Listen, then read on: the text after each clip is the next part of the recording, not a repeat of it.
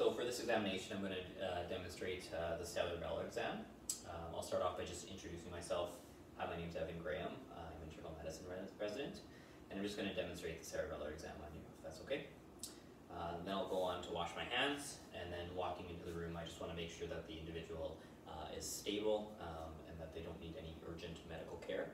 Uh, from there, I go on to vitals. Uh, in terms of the cerebellar exam, I wouldn't expect any kind of uh, vital abnormalities uh, to look for. From there, what I start off just on general inspection, I would look how they're sitting here, um, seeing that they have, are they stable, are they swaying from side to side in any way that might suggest any kind of ataxia to suggest a cerebellar lesion. Uh, from there, I'll just uh, assess their speech. Um, if you're able to just repeat after me, the British Constitution. The British Constitution. Perfect. Um, and so with that, uh, you can first note any kind of slurred speech, um, a very similar speech that you'd expect if somebody was intoxicated. Uh, and then uh, also you can look for any kind of uh, staccato speech uh, where they over kind of pronunciate a lot of the words. so for British Constitution, you'd expect them to say the British Constitution.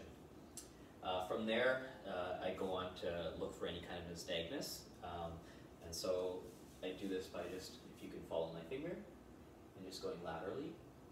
And what you'd see is on the ipsilateral eye that I'm examining, um, you'd start seeing a pendular uh, nystagmus uh, when you have on the lateral gaze. And even with retinal fixation, so if you continue looking at my finger, uh, it doesn't extinguish. When you go back uh, to midline, what will end up happening is uh, the contralateral eye will end up getting a nystagmus as well on there um, that distinguishes over time. After that, we can go on test uh, the finger to eye test.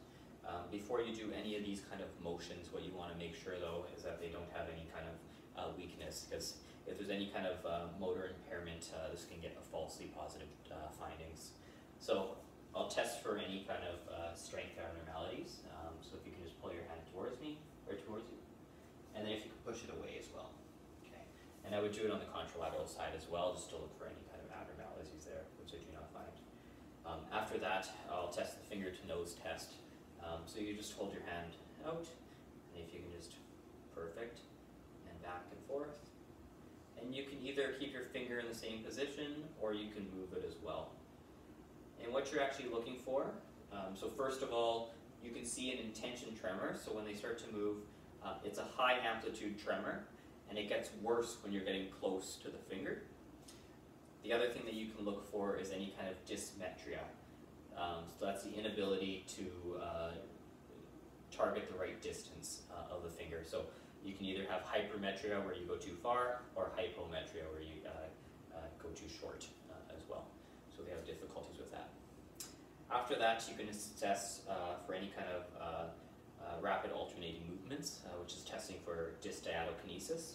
Uh, so if I'll get you to just put your hands on your um, thighs and push them back and forth as fast as you can. And you're looking at both sides as well to see if there's any kind of abnormalities. From there, we'll examine the lower extremities as well. so first, I'll get you to tap your feet.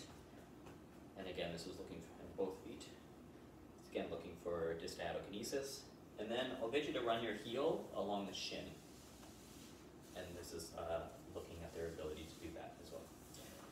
From there, um, we'll test, uh, so we'll test for any kind of uh, rebound. Um, so this is testing actually for hypotonia that you get uh, from a cerebellar lesion. Uh, so if you can just hold your arms up, flexed.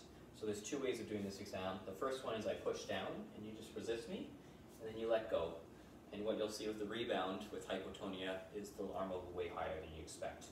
The other way that you can do it is you can test the recoil. And if you're going to do it this way, make sure you have your hand to catch it, otherwise you can hit themselves. And you pull, and then you let go, and you'll see again, rebound. Lastly, what you want to test is um, you'll test with the leg hanging down, and we'll do the patellar uh, reflex. so with this, you want to make sure that it's hanging down freely.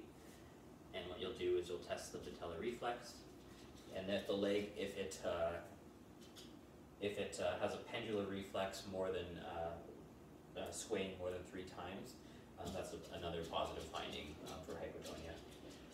The last part of the examination is gait. So what I'll just get you to do is stand up. Um, so first thing that I'll do is I'll get you to just cross your arms. You just want to look for any kind of tuck, uh, truncal ataxia. Are they swaying in any way at all? Um, if that's actually uh, normal, you can go on to test for the Romberg test. Um, just to note, the Romberg test is not as part of the cerebellar exam. It's actually to test uh, for impairment with proprioception. Um, so with the cerebellar, uh, with somebody with a cerebellar lesion, you'd expect them to be ataxic at all times and swaying at all times. Um, whereas if they have difficulties with proprioception, what you can ask them to do is close their eyes. And if they start to sway once they close their eyes, uh, then that would be a positive finding uh, for, for impairment in proprioception. Lastly, I'll just to get, get you to walk um, back and forth for me. And again, just looking for on the examination, uh, what you can note uh, with somebody with a cerebellar lesion, uh, they have a wide base gait, they'd be swaying side to side, it'd be um, uh, uneven and uh, often uh, varying kind of steps. Um, if that doesn't bring it out just on walking, you can also get them to do a heel to toe test, and this is a more sensitive test for looking for a cerebellar lesion. And that concludes the end of my cerebellar exam.